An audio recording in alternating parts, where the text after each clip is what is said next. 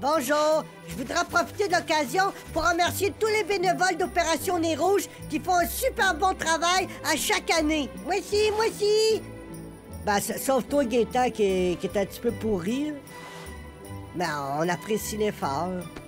On t'aime pareil. là. Alors, avoue que t'es pourri.